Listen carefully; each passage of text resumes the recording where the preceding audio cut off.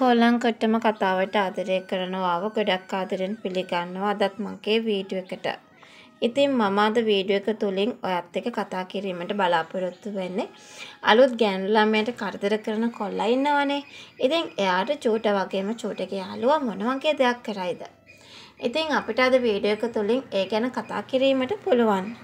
ඉතින් වීඩියෝ එකට යන්න කලින් ආදරෙන් ඉල්ලීමක් කරන්නට කැමතියි. ඒ තමයි වීඩියෝ එක බලලා ඔයාටත් මෙවැනිම වීඩියෝස් දිනපතාම බලන්න කැමැත්තක් ඇති වෙලා තියෙනවා නම් එහෙනම් අනිවාර්යයෙන්ම මගේ channel එක subscribe කරලා මාත් එක්ක එකතු වෙන්න කියලායි මම අද වීඩියෝ එක තුලින් ඉල්ලීමක් කරනු ලබන්නේ.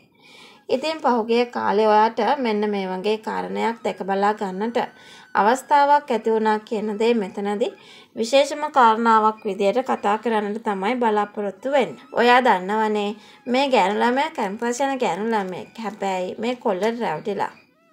හැබැයි ඉතින් මේ කෙල්ල ඇත්ත විස්තරය දැනගත්තට පස්සේ මේ කෙනා නිසා Tamanට කරදරයක් විතරයි වෙන්නේ කියලා අන්න එතකොට සම්පූර්ණයෙන්ම කරපු දෙයක් තිබුණා. ඒ තමයි මේ කොල්ලව අතාරින්න කටයුතු කරා. මොකද ඒකට හේතුව තමයි නිතරම අම්මයි තාත්තයි දෙන සල්ලි තමන්ගෙන් උදුර ගන්නවා. තමන් නිදහසේ අධ්‍යාපන කටයුත්තක්වත් කරගන්න බැරි තත්වයකට ලක් වෙලා ඉන්නේ. ඉතින් ඒ නිසා සමාවක් දෙන්න පුළුවන් තත්වයක් නැහැ කියන කාරණය අපිට මෙතනදි පෙන්වා දෙන්නට පුළුවන් සුවිශේෂී අංගයක් වනවා. ඉතින් මේ දේත් එක්ක චූට වගේම යාළුවත් තීරණය කරා මේ මිනිස්සෙට නම් ඉතින් පහර දෙන එක සාමාන්‍යයෙන් කල යුතුම දෙයක් කියන දේ. මොකද එහෙම දෙයක් උනේ නැත්නම් ඒ කියන්නේ පහර දීමක් සිද්ධ උනේ නැත්නම් මෙතනදී හැමදේම අවුල් වෙන්න පුළුවන් කියන දේ තමයි මෙතනදී ඔයත් එක කතා කරන්න මට බලාපොරොත්තුවක් තියාගන්නට පුළුවන් වෙයි. කොහොමනත් ඉදිරියේදී අපිට සුවිශේෂී කාරණාවක් දැක් ගන්නට පුළුවන් හැකියාවක් ලැබෙනවා කියන දේ මෙතනදී අමතක කරන්නම පුළුවන් කමක් නැහැ. ඔයා දන්නවද?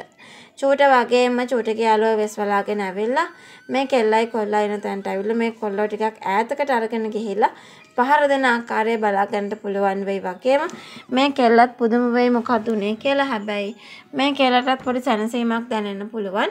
ඒකට හේතුව තමයි තමන්ට කරදර වෙන කෙනාගෙන් ගැලවිලා තමන්ට නිදහසේ පාරේ යන්න ලැබෙනවා කියන්නේ.